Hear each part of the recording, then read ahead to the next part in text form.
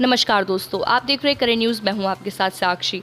America हुआ दुनिया भर में आलोचना का शिकार। अपने स्वार्थी व्यवहार से जानिए कैसे अमेरिका के राष्ट्रपति डोनाल्ड ट्रंप ने चीन की तरफदारी का आरोप लगाते हुए डब्ल्यू एच की फंडिंग रोकने की बात कही थी। अब फंडिंग रोकने के इस कदम की उम्र में आलोचना हो रही है। सीखने में कोरोना वायरस से संभावितों को संख्या बढ़कर 20 लाख के पार हो गई है। जबकि इस जानलेवा वायरस से अब तक एक लाख छब्बीस हज़ार से ज़्यादा लोगों की मौत हो चुकी है।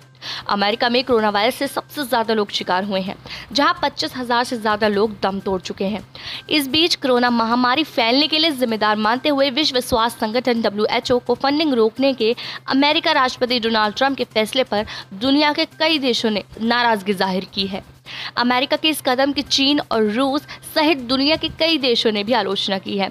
रूस के विदेश मंत्री संगई रियान कोव ने कहा कि अमेरिका राष्ट्रपति डोनाल्ड ट्रंप के विश्व स्वास्थ्य संगठन की फंडिंग पर रोग वैश्विक महामारी को लेकर एक स्वार्थी प्रतिक्रिया को ज़ाहिर करता है।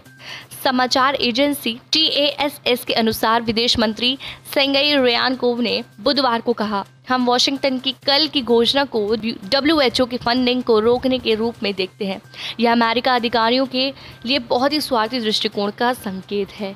वहीं डब्ल्यू ने महानिदेशक ट्रेडोस एडनोम गैबियस का बयान भी सामने आया है। हालाँकि वे सीधे अमेरिका को लेकर कुछ नहीं कहा है, लेकिन यह स्पष्ट कर दिया है कि उनके पास इस बेकार के विवाद में एकीकरण का समय नहीं है। उन्होंने कहा, इस समय हमारा केवल एक ही उद्देश्य है, लोगों को कोरोना वायरस की महामारी से बचाना और वायरस के प्रसार पर ज़ोर देना। ट्रेडोस एडनोम गेबियस ने जारी बयान में कहा कोरोना वायरस के बारे में हमने अब तक यह जाना है कि जितनी जल्दी स्वस्थ लोगों के बारे में पता चलता है, जाँच की जाती है, उन्हें आइसोलेट किया जाता है।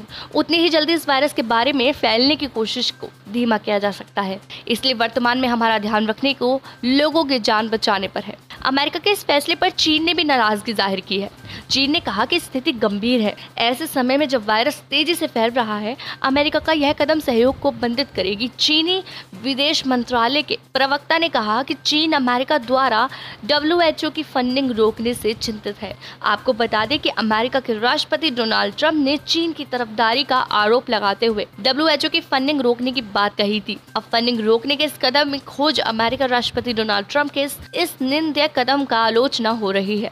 ऐसी और खबरों के लिए देखते रहिए करें न्यूज़ और लाइक कीजिए शेयर कीजिए सब्सक्राइब कीजिए।